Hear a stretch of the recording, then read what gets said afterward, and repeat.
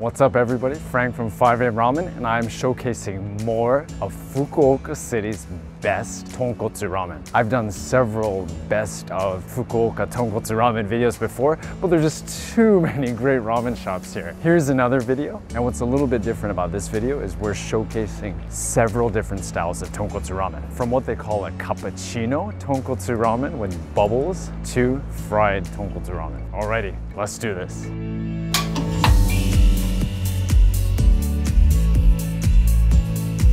Thanks for tuning in to 5am Ramen. This channel is dedicated to delivering you the very best ramen info from the land of the rising sun. I'm Frank, and ramen eating is what I do. The island of Kyushu is one of my favorite areas in Japan, and it's the setting for this mini ramen series that you're now watching. We're in the sixth and final episode of the series, having toured northern Kyushu up to now specifically Saga and Fukuoka prefectures. Here's where we left off.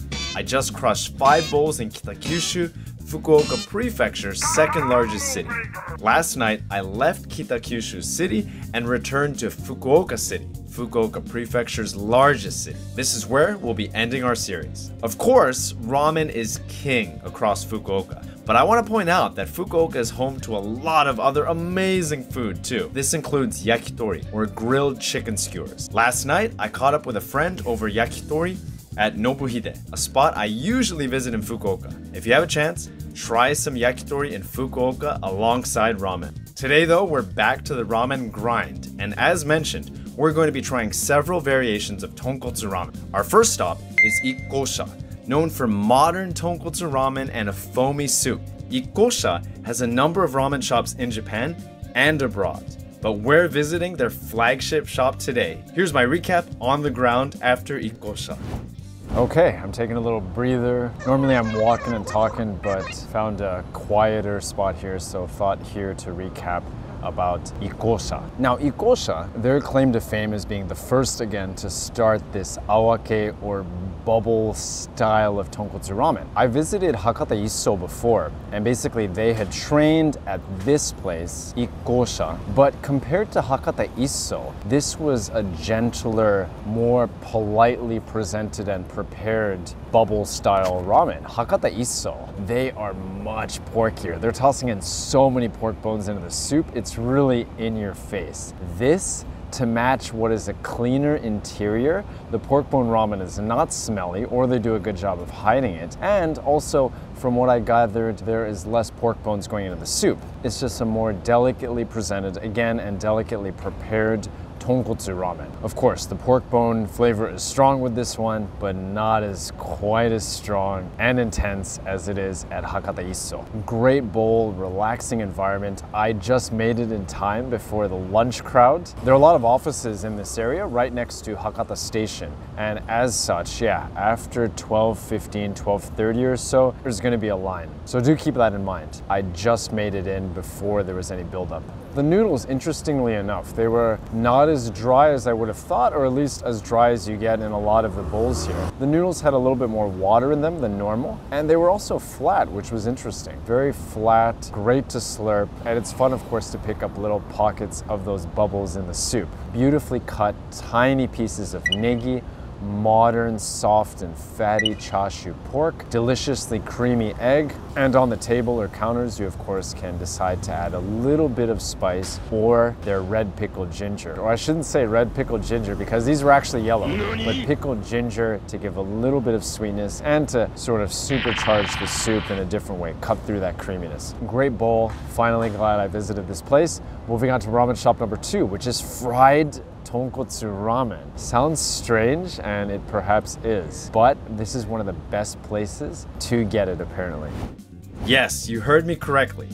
Fried tonkotsu ramen. We're getting it at a spot called Ono Shokudo. But before Ono Shokudo, let's briefly talk about our recently launched Fukuoka Ramen Guide. This handy guidebook includes info about the best ramen shops in Fukuoka, not just Fukuoka City either. Furthermore, you'll find ramen shops not featured on YouTube, like these two spots in Kurume City for example. Grab the guide if you're planning a trip to Fukuoka and use the promo code on screen when purchasing. Anyways, back to Ono Shokudo for fried ramen. Let's hear what I have to say about this bowl. Okay, here's a little recap of Ono Shokudo. That was a massive bowl.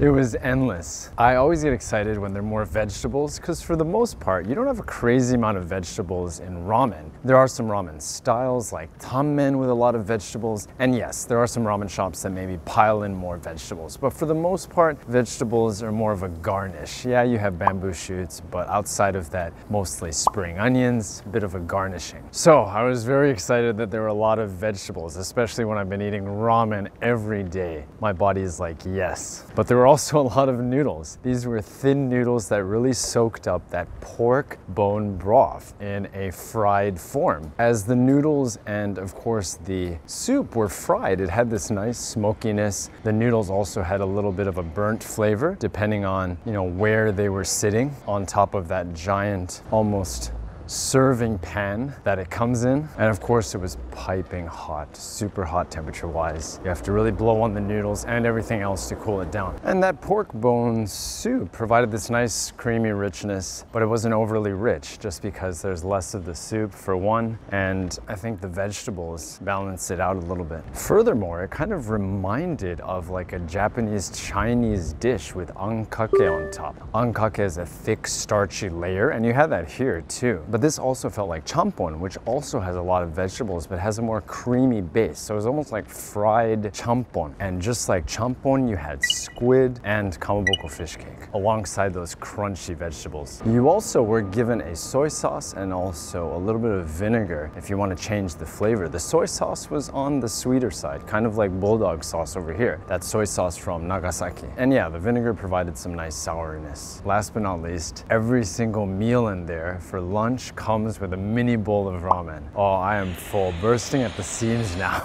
And I feel like I haven't even gotten through two thirds of the video yet. But yeah, there was a little mini ramen there and it was surprisingly good. Nice rich flavor and thin noodles that you would only expect in the ramen in this part of the country. So that was a lot of fun. I've had yaki ramen or fried ramen before, but it's been a long time. And I think I need to take a little bit of a break before the next bowl. Oh my God. If you add it all up, I mean, that was the equivalent of like two bowls right there, not including the mini ramen. I feel like I've already had three and a half, if not four bowls already. So I think a little bit of a break is in order before that next one. Coffee break time, a little rest and ramen reflection before the next ramen shop. And this ramen shop ends up being the final one in the video and in the series. We therefore had to make it count. Ganso Nagahamaya is where we're going. They've played a key role in Fukuoka ramen history. Open since 1952, they're responsible for Nagahama style tonkotsu ramen. More details now with my recap. Good God, how do I get myself into these messes? I forgot how massive the portion of noodles is at Ganso Nagahamaya. Oh my goodness. It's just never ending noodles. In terms of cost performance, my God, I mean, with ramen that cheap and the amount of noodles you get, of course, there's an overall simplicity to everything in the bowl. Pretty bare bones. So it's a understandably popular, quick eat and go style of ramen for locals that doesn't break the bank at all. The soup is not that rich. Of course, it's a tonkotsu soup, but it's on the lighter side. Thinner, lighter, but still full of flavor. And at every table, you have condiments to your liking. This includes sesame seeds. I always go for benishoga or red pickled ginger. That was the case here. I also added more tare, or seasoning for the soup. This made it saltier, gave it a tangy soy sauce punch. But those noodles just kept coming back and back. Nagahama ramen is a little bit different from Hakata ramen. Both are from this area, Fukuoka City. And in recent years, they've kind of blended together. However, the roots of the two ramen are different. Nagahama ramen started in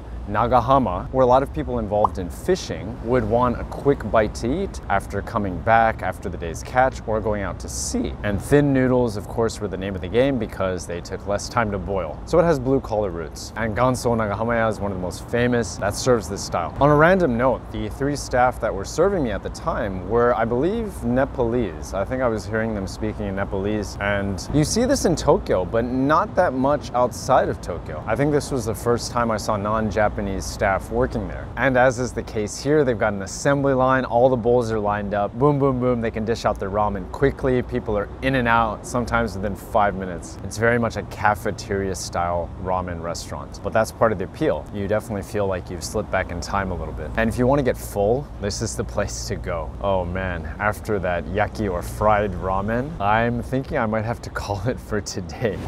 All right, everyone, I've decided I'm gonna tap out. I had 20 bowls in total this trip, so I think not a bad number. I did spread it out a little bit more this trip, but still maintained a great pace of ramen eating. But yeah, I'm gonna tap out right now. I'm very full, and I also have a flight to catch, so it works out. I hope you still enjoyed this video of tonkotsu ramen showcased in a different way at three different ramen shops. There's a whole lot of ramen in Fukuoka. I still need to come back and eat. Plenty of places I still wanna showcase showcase here on camera. But for now, we say goodbye but not farewell to Fukuoka City and its fantastic ramen scene. I hope you enjoyed this video and the other videos in this Fukuoka ramen series. And if that's the case, please hit that like button, consider subscribing if you already haven't, and I'll see you in the next ramen video. As always, thanks for watching.